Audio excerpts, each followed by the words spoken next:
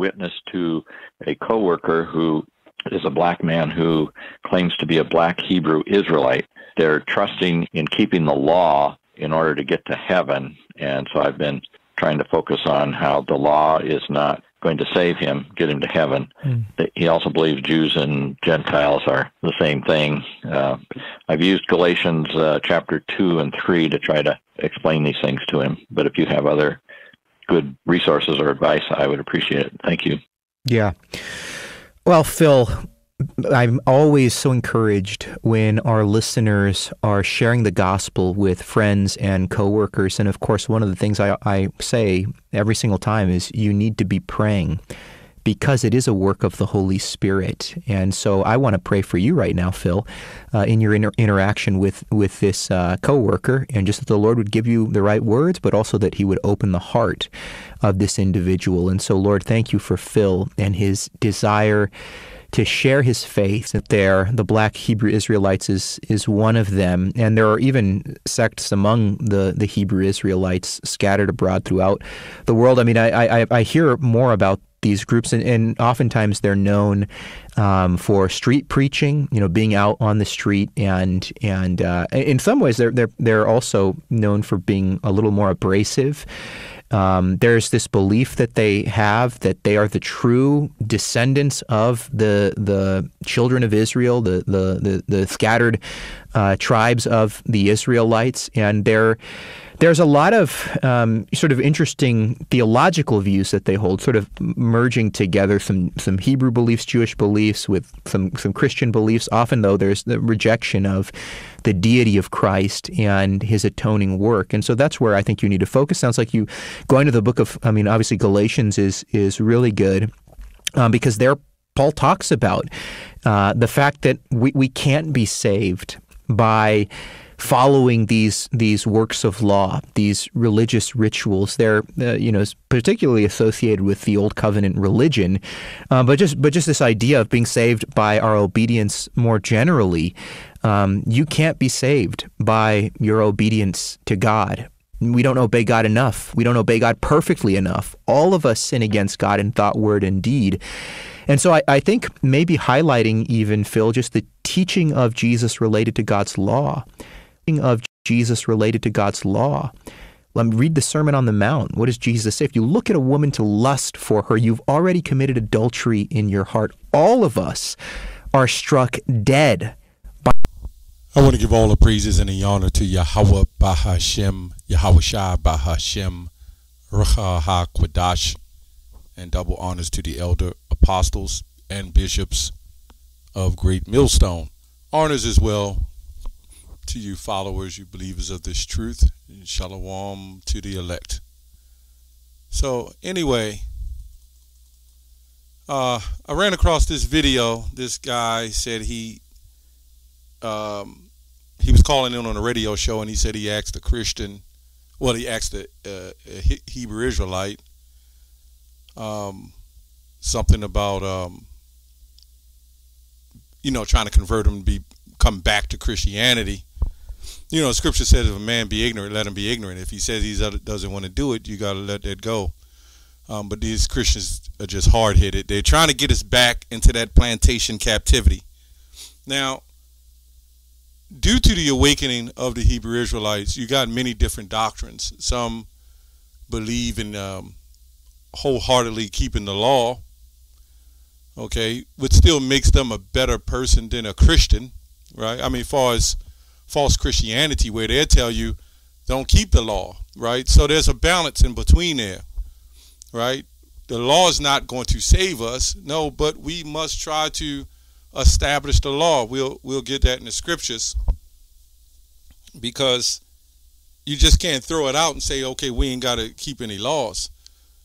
This man literally said, you look at a woman and lust after a sin. This is the mindset of Christianity and what they've done and that agenda, you know, to cut, you know, Jake back. That's the best way I could say it. So Jake won't be getting it, getting down, you know. So they told us we looked at a woman and we lust, it was sin. But I thought that's what bring forth children. Lust. There's nothing wrong with lusting after a woman. Where do they get this stuff from? If you took that out of every man's spirit in this world, there would be lack thereof of children. Every woman would feel like, damn, no man is even looking at me. There's no reason to put on all the makeup. I mean, nowadays it's out of control, but the attention of what why they dress up and why they do what they do is because they really want the lust. This is crazy, man. What who I, you know, I don't know who made that up. That goes back to old plantationism, man. Not to look at a woman. If you look at a woman and you see her, and she's she's beautiful, and you can't lust, which goes back to desire. Come on, man. That sounds like something uh, uh, going the other way, if you ask me. Let me look up this word. You know, and he, a lot of these Christians look like this, man. You know, it says intense sexual desire, right? So I thought in order to to do that, you must have some form of desire. I don't know. Intense longing. I mean, I did read the scripture where I believe it was Isaac took Rebekah in his mother's tent in the book of Genesis and loved her. I'm pretty sure there was some lust lust involved. But anyway, you can't make this up, but this is what we were taught. He went into Galatians 3 and 28, that a Jew or Greek, that word Greek we went into several times. Remember, we were Hellenized Jews. You look at the word Grecian, Greek and Grecian, Grecian means uh, Hellenistic, Greek speaking Jews. So we can clearly see that this word Greek can go, go different folds, like many other words in the Bible. Now, if I had a conversation with a Christian, uh, he'd have left scratching his head, or any of us in Great Millstone. And maybe that other brother, whoever it was that was uh, teaching him, may have said it too, but we go a little bit deeper. We'd have pulled out the blue letter, we'd have went into the the um, terminology, the, the etymology, and really got in a better understanding of the words. We would also show, that's why we do these videos, you had, like we have Americans and African Americans, you have Israelites. If you if you gave a census or a poll, the average person would say, "Hey, I'm I'm Christian, or I'm Baptist, or I'm this, I'm that." They wouldn't write down that they're a Hebrew Israelite, so they wouldn't accept being a Hebrew Israelite. So it would be considered as a heathen man. In fact, when you go into the old Bible, when it word Gentile, which originally wasn't in the Bible, that was a Latin word brought on by Saint Jerome. Now that word really just meant heathen. So it would say whether Jew or Greek or Jew or heathen, that could have been there too. Because you had you had Greek speaking Jews, you had uh, murmuring Jews who you had Jews who believed, right?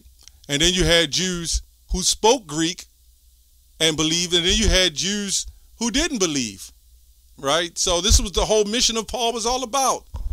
But anyway, let's go to Galatians. Well, I just read that. There is neither Jew or slave. I'm reading different contexts. Um, there's neither Jew or Gentile. See, in the NIV it says Jew or Gentile. It don't even say Greek. These are placement words. This is all brought on by universalism. And universalism is what popularized certain words. And they put Greek there. They put Gentile there. Whether Jew or Gentile. Gentile just means foreigner. Just like stranger, right? You had strangers as, as strangers of, uh, uh, of the covenant or other nations, and you had strangers as Israelites, right? So it went two, two, twofold in some cases. So you look at Gentile is another word for stranger or foreigner. Okay? So it says there neither Jew nor Gentile, which originally the word wasn't there. In fact, let's go to First Corinthians. Before I go on more about the law, which we go over and over again, um, this is what they harp on let's go to either First Corinthians or Second Corinthians. Um, before we go into the law, because you got to understand it was there was um, There was different Gentiles, according to the Bible. Even stranger, you know, Moses' son was named Gershom, and it, and it means uh, stranger in a strange land. He said, because I was a stranger in a strange land. So Moses would have been considered a form of a stranger, right? We can go to 1 Corinthians 12, verse 2. It says, well, we'll go to 1. It says, Now concerning spiritual gifts, brethren, I would not have you ignorant. Ye know that ye were Gentiles carried away unto these dumb idols. So this is right here solidifies this word Gentile can mean you being a part of another nation. Or you can be being called of another nation. Just like you had Caleb's father, Caleb the Kenizzite, right? You had Simon the Zealot. Whenever you see such and such, the such and such, it always uh, uh they always identify with another nation, but they're still Israelites. You got our people calling calling themselves every each and everything, right? You got our people calling themselves African American as an ethnicity. Their religion is Christianity, right? Or they believe in atheism, Buddhism, and everything else. Or they're merging it with their ethnicity. You know, Ecclesiastes 1 and 9 says there's no new thing under the sun. So now we're going to go into the law a little bit. Um, the Christians believe that the law is done away with, the curse of the law, right? And the reason why it's become a curse to us because we never followed it. And now that we're in captivity, we can't keep it fully. But let's see what Apostle Paul said. Because you have Israelites, just as today, Hebrew Israelites who believe it's all about the law. This is nothing new. But yet they can't keep many things that's in the law. Anyway, for as many, this is Romans 2 and, and 12. Uh, it says, let me go up to 9. It says, Tribulation and anguish upon every soul of man that doeth evil, of the Jew first, and also of the Gentile. Right? We just went into that word Gentile how it can be char- uh, characterized as another uh, as the same nation or another nation. It says the Jew uh, first and then the Gentile. Right? Um, and then it says, But glory, honor, and peace to every man that worketh good, to the Jew first, and also to the Gentile. Right? This is why you have the Greek and the Grecian. And you look up the word Grecian, it just simply means Hebrew speaking Jew. For there is no respect of persons with Yahweh. It says, For as many have sinned without the law, shall also perish without the law. Right? You got people who came in the world who never had the law, and they died without the law. And as many as have sinned in the law shall be judged by the law. So when you look at the law, the law was made for sinners. Right? So once you wake up to the truth, you're going to be judged. Technically, you'll be judged accordingly. Right? For not hearers of the law, for not the hearers of the law are justified before Yahweh, before God, but the doers of the law shall be justified.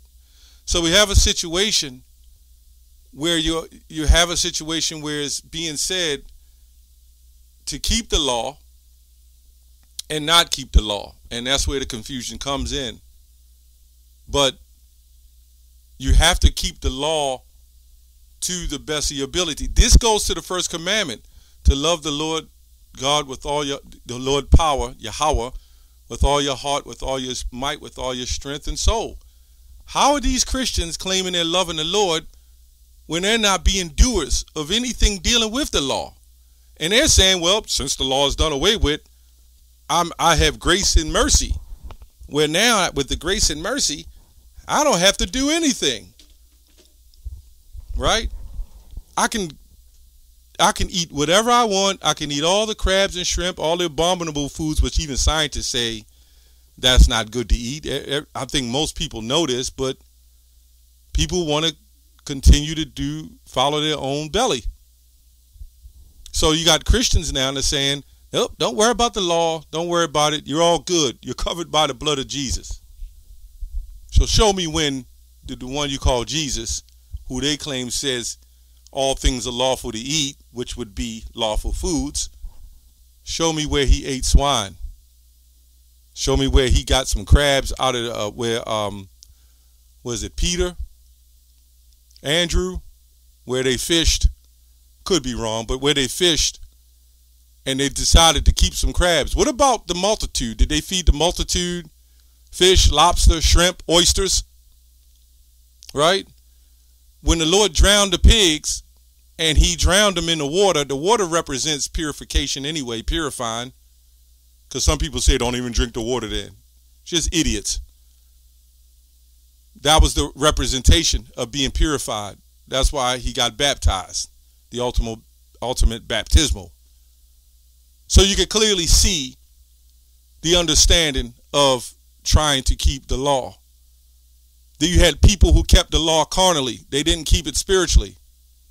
It was all about the law, except about faith. That's why he went into the law of faith. Okay, so anyway, let's go further on. I want to hang up on that one. Let's go to um, um, let's go to Romans um, 6 and 14. For sin shall not have dominion over you, for ye are not under the law, but under grace. Right? You're not under law, but under grace. What then? Shall we sin because we are not under the law? But under grace? God forbid. Now, what is sin? Sin is the transgression of the law. That is what sin is. It is the transgression of the law, which is a really big deal, right?